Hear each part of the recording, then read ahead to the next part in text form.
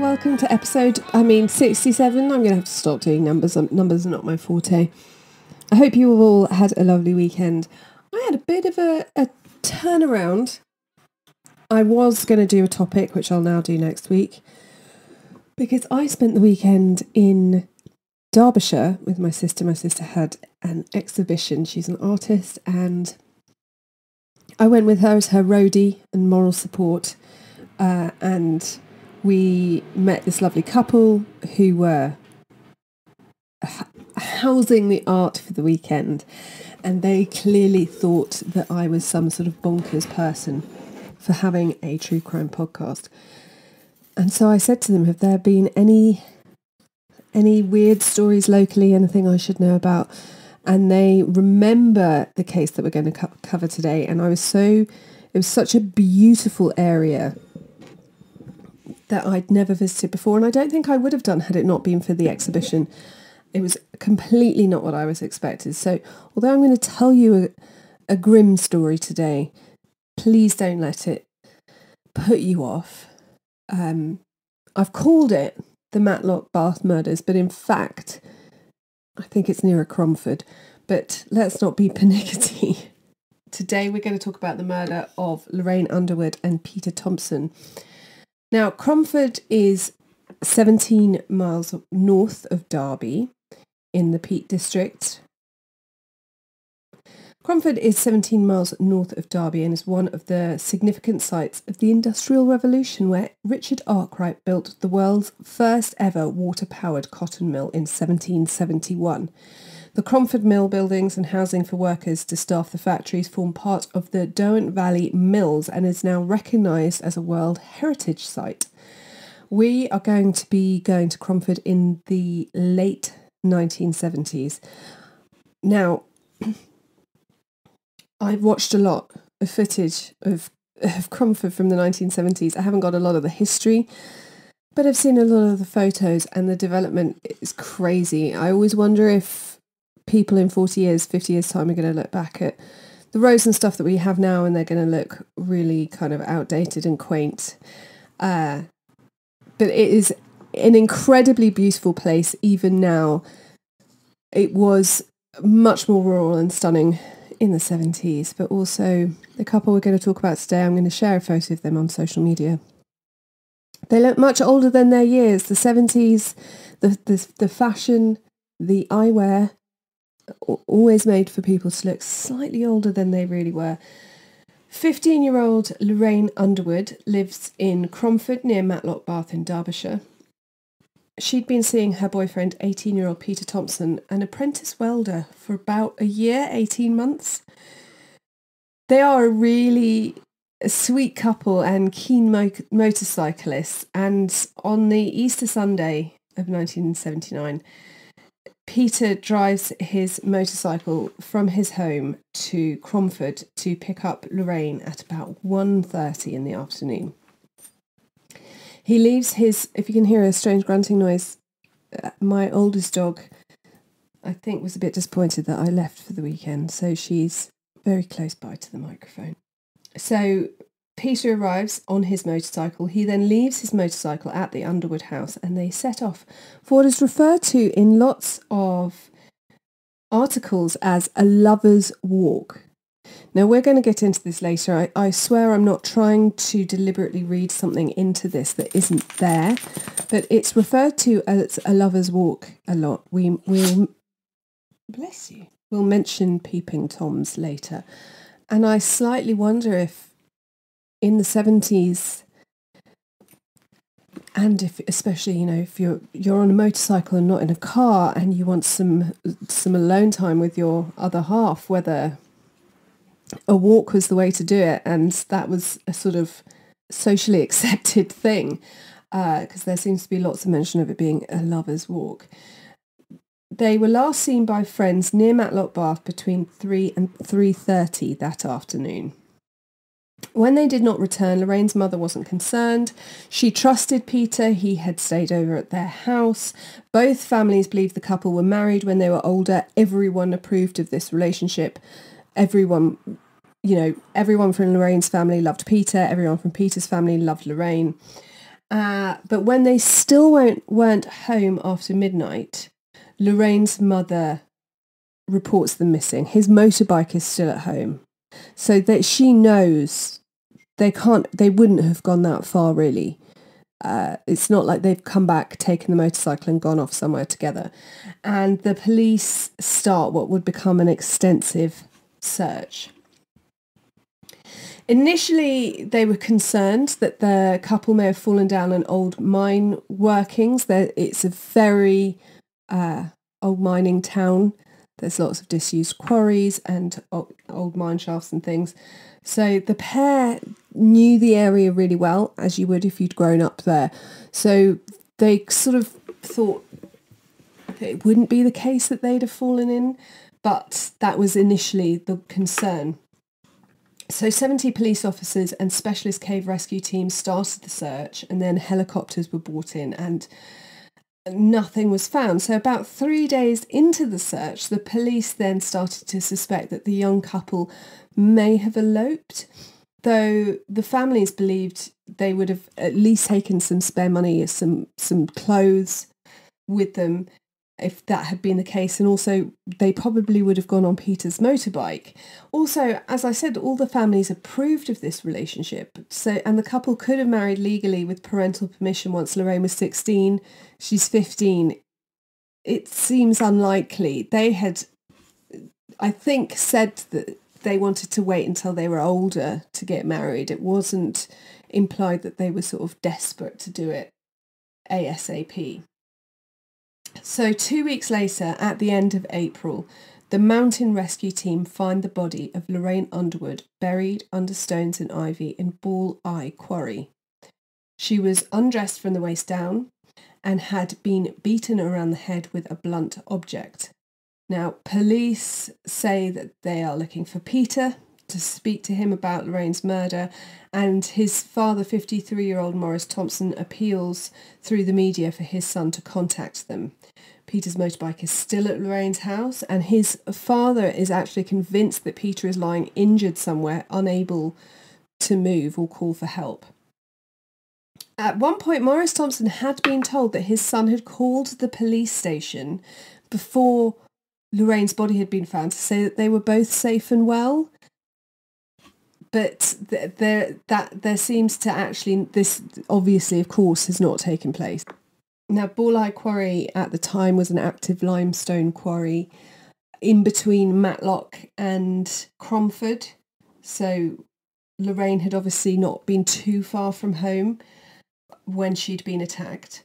They p- keep putting out requests through the media for Peter to get in contact with them, but a week or so later, they find Peter's body just about 280 yards away from where they had found Lorraine's. And again, he's been buried under large stones and ivy branches.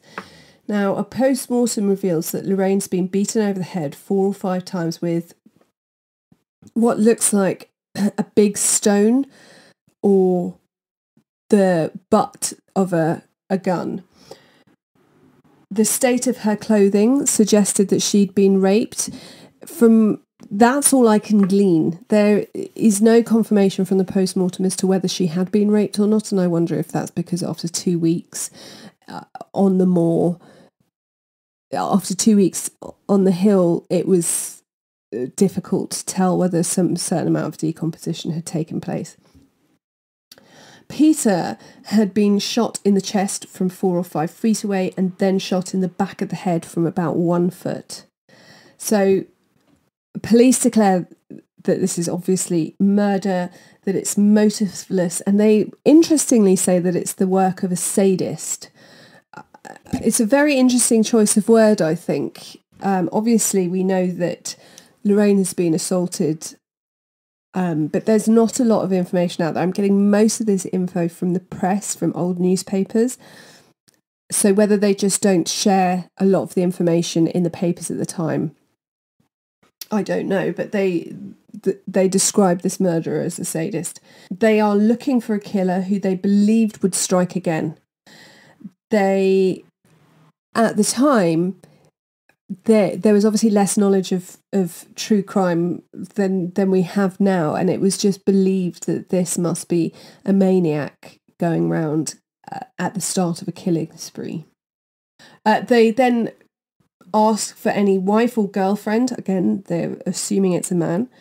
They ask for any wife or girlfriend who may be concerned with their partner's behavior or if they didn't know where they were or if they've seen something they encourage these women to come forward and one person or a couple of people report that they heard a scream echo through the hills at about 4 p.m. that Easter Sunday and that's been able to give them an approximate time of when Peter died and Lorraine's attack began.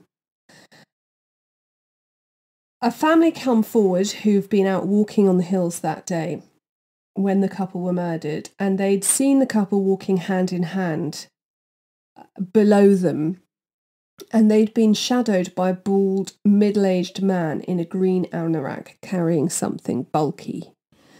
So they the police assume that this anorak's not going to be easy. It is going to be really common, but it, it, turns out that it's got a very specific red and green tartan pattern. So they uh, go go you know that they have that to go on to look out for. Now the couple are buried. They have a funeral. They're buried side by side in a double grave overlooked by her parents' home. And as the funeral procession passes through the streets of Cromford, shops are closed, people draw their curtains, police stop and salute the hearse as it goes past. It's a huge event. Uh, the the whole town is is just horrified at what's happened to this lovely couple. Now, weirdly, in May 1979, a woman known only as Kathy comes forward. She has rung the police three times but always hung up and won't give her name. She then speaks to a reporter and gives her name only as Kathy and she says that she was having a picnic with her family in the hills that day and witnessed the murder of Lorraine. She said that that her whole family saw two men messing about with Lorraine and it had got out of hand and they had beaten her with a gun. She hadn't come forward earlier because she was concerned for the welfare of her family and then a death threat was allegedly phoned into the lo- local radio station warning Kathy to keep her mouth shut. So police spent a lot of time trying to track her down. They can work out that she phoned from the Nottingham area. And then when the death threat comes in, they put police in the area which they believe she lives in to make sure that she is safe they eventually track her down and somehow work out that she's just making it all up. And she is later referred to as the hoaxer, and she is threatened with prosecution but is let off without being prosecuted. I just think this is so weird. There's a lot of talk of her in the paper. I just don't know why you do this. I guess for your five minutes of fame or, you know, it just seems like such a sick thing to do when you know that um, these families have lost their children. I mean, 18, he's an adult just.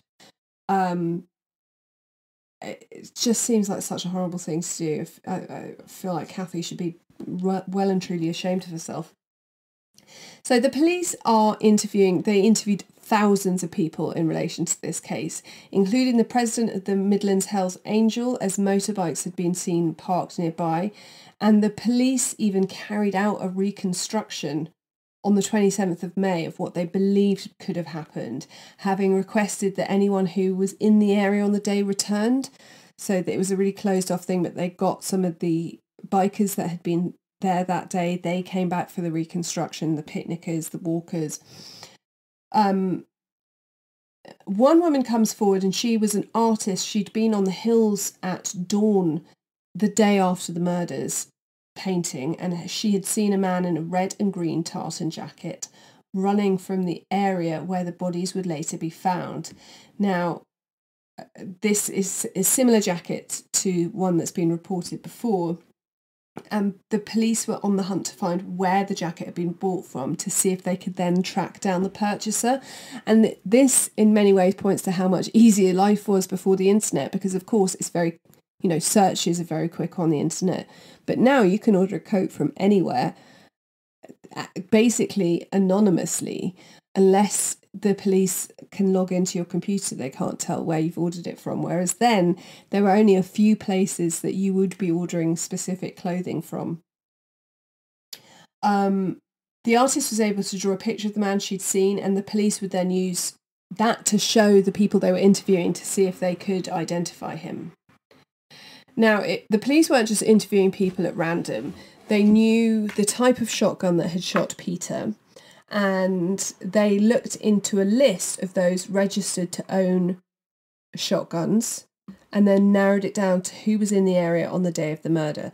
So I I feel like I'm one of those people that bangs on about the gun laws in this country versus America, and I think maybe Americans think that we can't like no one owns guns here and you totally can. You just have to get a license, you have to be on a register and you have to get you have to have it locked up and you have to have it checked annually that you do have it locked up. And um, so it does make it very easy.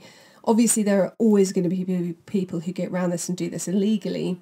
And at the time, the police considered having an amnesty on unregistered shotguns so that anyone who had one wanted to just get rid of it uh, because it wasn't registered, they could just drop it off. Now, on the 18th of May, they interview local man Arthur Hall, who is a happily married father of two, and he denies owning a gun. He, I think he's on the register, um, but he says, you know, that's not true anymore. I don't have a gun. But at the beginning of June, police frogmen searching in the River Derwent found rem- uh, bits of a, a dismantled, a chopped up, a sawn up shotgun. So they believe that to be the murder weapon. Now, they go back and interview Arthur Hall, and he says he has an interest in guns, but nothing to do with the murders. But this is not strictly true. It turns out that 38 year old Arthur Hall had handed in his notice at his work shortly after the murders had happened, and he told his work that his wife had left him and he now had to look after his children. Now, not only had his wife not left him, but his kids were teenagers. The support they would have needed was financial. So, giving up his job to stay home to look at his kids who weren't at home all day and who would have needed money makes no sense whatsoever. And then a few days later, he calls his wife, confesses to the murders, and tells her that he's taken 400 tablets. Luckily, she and his brother, one of his brothers, Les, managed to get to him in time to save him.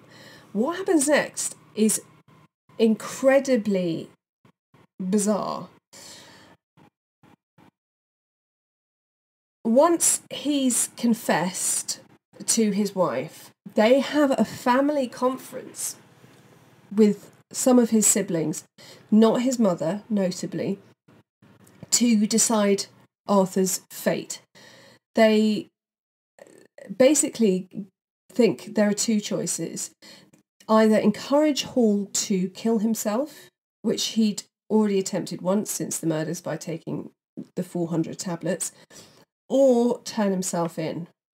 And they sit there for a couple of hours talking this through. Arthur apparently doesn't say anything throughout, and his wife sits with her head in her hands and cries, understandably. And they eventually decide that he should turn himself in. And so on the 12th of June 1979, Hall, accompanied by family members, goes to the murder incident post at Cromford Meadows and asks to speak to the officer in charge, to whom he said, the pressures have got too much. The police officer says, what, what are you talking about? And he says, I'm confessing to the murders of Lorraine Underwood and Peter Thompson. Arthur Hall had lived in Cromford for most of his life and lived apparently happily with his wife and two teenage children. He had no history of violence and he did have a history of depression, which has seems to have started when he was about 17. He had attempted suicide twice before, once when he was 18 and again when he was 23. He, obviously, this is Derbyshire in the 1970s. There was not a lot of uh, mental health help at the time, and probably even less so for men. It was really not a done thing for men to talk about. Um, he's a boilerman with a firm based in Matlock and was keen on walking the hills and shooting birds and rabbits. So a friend came forward after Hall was arrested and said he'd seen Hall with a sawn off shotgun a few days before the murders and uh, after the murders Hall had asked him not to mention it Initially, Hall said that the shooting of Peter Thompson was an accident. He said he'd been up in the woods shooting, had turned and shot, and Peter was there. And uh, um, he'd hit Peter in the back, and uh, Lorraine had run off screaming, and he'd followed her and hit her in the head to try and s- stop her screaming. He denied sexually interfering with Lorraine, and uh, you know he'd completely shot Peter by accident. He then said he'd cut up and disposed of the gun in the river, which they had found. Hall then changes his story. Mm-mm. He said he'd been shooting rabbits by a wall and Peter had told him to clear off. Hall said that this had filled him with rage and he'd shot Peter in the chest. He says, I just jumped over the wall and shot him in the chest. He made me mad. It turns out, eventually, he would say that Peter had called him a piker, which is a local term for a peeping Tom, which mm, is much more apt, I think. And I wonder, this all ties in with what I was saying earlier. Now, I don't know any of this, and I didn't know my hosts well enough to ask them, but I wonder if you wanted some privacy with your beloved when you were that age and you all lived at home and you know i don't think you slept over in each other's rooms and all of that whether you would go off to the hills to the woods for some privacy. And if that was the case whether all this walking in the hills and the shooting of rabbits and birds that hall did was actually because he was a peeping Tom because he knew what the kids were up to and whether that's actually what happened on the day. He was peeping on Peter and Lorraine. Uh, so Hall then described how he beat Lorraine, beating her about the head and face several times with the gun, and then he raped her as she lay dying. He then went and shot Peter in the back of his head to put him out of his misery before stealing their watches in the hopes that police would think it was a robbery. Uh, which leads me to believe that he was in fact a piker, uh, already aroused by what he was watching and, and frustrated and angry to be caught in the act. There's something um, I, I don't know. I think it'd be one thing if he was filled with rage and wanted and and shot Peter and then felt bad and had to dispose of the witness. But the rape for me, I don't know, for a man who's not reported to be violent to his wife, she doesn't seem to suspect him at all. To be aroused enough to commit a rape after something as shocking as shooting someone, especially with a shotgun in the chest, that is not pleasant. And beating someone about the head, for a lot of people, if they were doing that out of fear, um, they wouldn't nex- necessarily find it arousing. So uh, that I find intriguing to know whether he was in fact a peeping Tom. I think a piker is a much better word. Peeping Tom never sounds as sinister as it is. Um, and whether this was an escalation that I don't think was always going to happen. He obviously can't live with himself having done it. It's not like, you know, we know of a lot of predators for whom it's then like, oh, I, I do this now where I kill people and rape their girlfriends. Um, but yeah, that I find quite intriguing. Arthur Hall's mother, Olive, said she knew that her son had committed the murders before he confessed.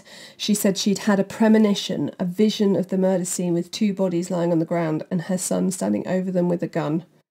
Arthur Hall never mentioned the murders to his mother, even when he visited her just before his trial started. He didn't mention the murders, the trial, anything.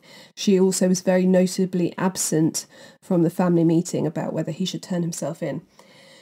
She said Arthur, who was one of nine, was often withdrawn and insular as a child and spent a lot of time walking on the hills. She told of a time that Arthur had been dating a girl who had broken up with him and he'd taken it really badly. He had been on his way to see her and had found her walking in the hills with another man and he had just it had said he'd taken him ages to get over if he had ever gotten over it. Olive Hall said the girl at the time looked a lot like Lorraine Underwood, and she believes that seeing Lorraine and Peter might have reminded him of that incident and he just lost it with rage. She thinks it can be the only reason. She was sure he didn't know the couple before he killed them. So that could, of course, be the case. But I just find that sudden leap to violence quite extreme. So I wonder if there's something his mother doesn't know. In another twist, Arthur Hall had gone about in a gang with Lorraine's mother, Margaret, when he was younger and he'd had a crush on her. They had briefly gone out, but it come to nothing. After Lorraine's murder, Margaret said the memory of her brief relationship with her daughter's murderer made her sick. Weirdly, this would not be Margaret's only dalliance with a murderer. Nine years earlier, she had, she's divorced at this time, she had been stepping out with a male friend who, unbeknownst to her, was also having an affair with his boss's wife. This man would then go on to shoot his boss and be jailed for life. In court for sentencing, Hall pleads guilty to the two murders and then he springs for the door and he is jumped on by seven police officers and then he's taken down to the cells with a bleeding nose and then he's returned having been restrained in manacles 15 minutes later his lawyer apologized and says it hadn't been an attempt to escape but pressures were running high um, Hall pleads guilty to both murders and is given two life sentences, with the judge saying, I regard you as so dangerous that life imprisonment should mean precisely what it says. And that is the sad story of the Matlock Bath murders. I knew as soon as I arrived in Derbyshire that I was going to have to do a story set there. It is absolutely stunning. So if anyone is looking for a UK based visit somewhere, I can really recommend Wirksworth, Matlock. There's an aquarium in Matlock, unlike any that you get to see nowadays. Give me uh, Matlock Aquarium over London Aquarium any day. It's just divine. And yeah, please email me your spooky Halloween stories for me to share on our Halloween episode. And you can do that at Monday Night Revue at gmail.com. Or you can message me on social media where we are at the Monday Night Revue on TikTok, Instagram, Facebook. I'd love to hear from you, so do send me a message. Big shout out to all our patrons on over at Patreon. I love you. You make me happy. I hope you are loving the mini-sodes and extra content that you get over there. And until next week, be kind, stay safe. Always check the back seat before you drive.